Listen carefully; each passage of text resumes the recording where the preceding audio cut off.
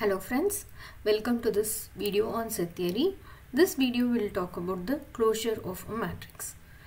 And this is going to be the 10th video in the series of set theory. Come on, we will now see what is meant by closure of any relation. If R is going to be a relation which has been defined on the set A and we happen to have R to not satisfy any particular property, then we can find the smallest of the relation R1 on the set A so that R1 possesses the desired property and also contains R. This new relation R1 which is being formed is called as the closure of R. So the base is like R is going to be there, the relation has been defined on a particular set A but R does not possess any property which we desire for. So what we do, we do a topping on top of it. So this topping which we do is going to give us a new relation and this topping or this add-on is going to give us a new relation. This new relation is going to be R1. This R1 is going to be the old relation R and the desired relation which we want for. So this relation which we get new one will be called as a closure. It's something like our ice cream we get the base ice cream which is going to be vanilla or chocolate. On top of it we are going to add some uh, chocolate syrup or we are going to add some uh, nuts on top of it or some sprinklers on top of it something of that sort. So that is going to be like our desired flavor. So we bet, get a basic car or a basic uh, bike but that may uh, lack some uh, amenities which we may desire for like flashy lights or stereo systems or something of that kind. So to the base car or the base bike which we have got we are going to add on or do a topping of our desired uh, quantities to make things which is going to be of our kind. So the new resultant will be called by the name called as closure. I hope you understand the definition of closure of a relation. Now there are going to be various types of closure where we can classify them as reflexive closure, symmetric closure and transitive closure, the more commonly used of all. So what is meant by reflexive closure? Uh, if you want R to have the basic property of reflexivity to be included in it. What do you mean by reflexivity in relationship? We know that A comma A belongs to R for all your A belonging to the set, then it is called as reflexivity. Now if your base R does not have all the points A comma A, what I do is I top it up with my reflexive nature. This reflexive nature is denoted by the symbol called as delta. Delta happens to be the collection of all A comma A such that A belongs to the set A. So when I do a topping of this existing relation with this delta, then what happens automatically my desired elements of the format A comma A gets added up to your old relation. This new relation which we have is called as reflexive closure. What is meant by symmetric closure? The relation R1 which we have which is got by topping up your old R with your R inverse. Why an R inverse? Because we know that if R is going to be the relation of the ordered pair A comma B, then what do you mean by symmetricity? We need to have B comma A also to belong to the relation. But how to get this B comma A? This B comma A is got by your R inverse. So this R inverse is the collection of all the points of the format B comma A whenever our A comma B belongs to the relation. So what do we do is if our original set R lacks its inverse element, we top it up with R inverse and then form the new relation R1 which is the union of R and R inverse. So this R inverse provides the inverse elements of all your x comma y which is already present in your R. This new relation which we get is called as symmetric closure. In a similar way, we can go for the transitive closure too. So what is meant by transitivity? you know that whenever we have a comma b to belong to the relation and b comma c to belong to the relation then a comma c also belongs to the relation so ab is related to bc and bc will now be have a relation that moves from a to c. So that is how we build a new relation.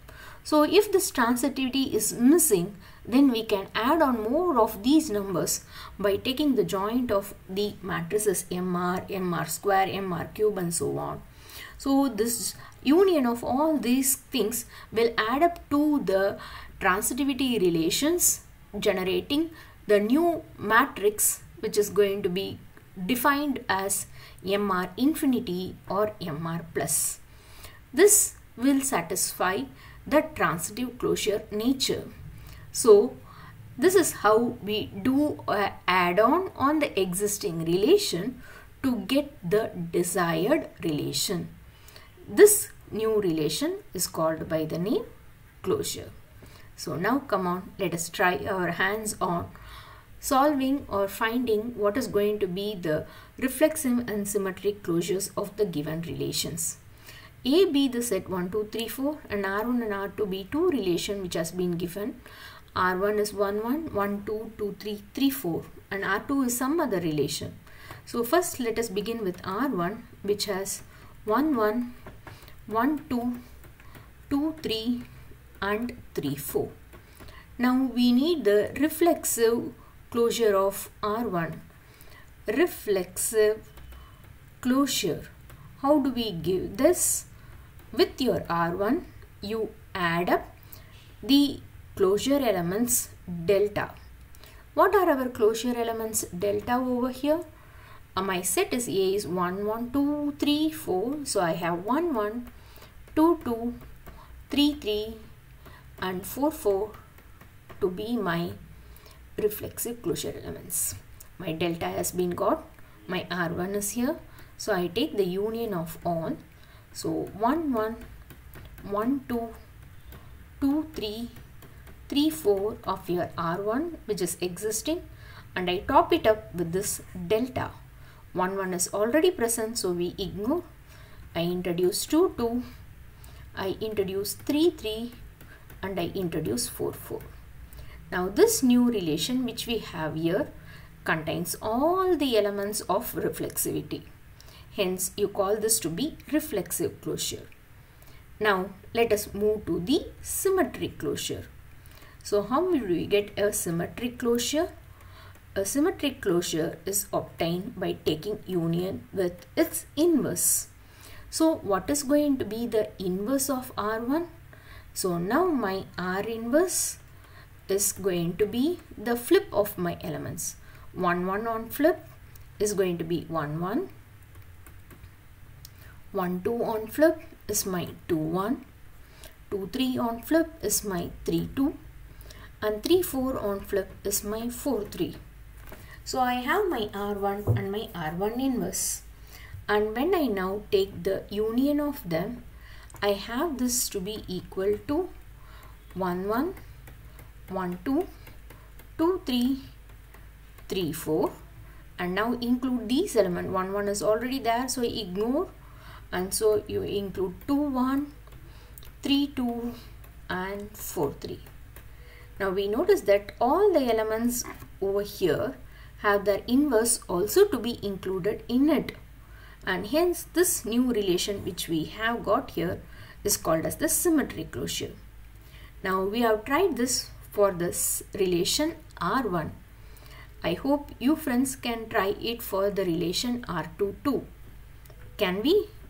So I have the relation R2 given by 1 2 2 2 1 2 2 2 3 2 4 1 sorry 3 2 4 1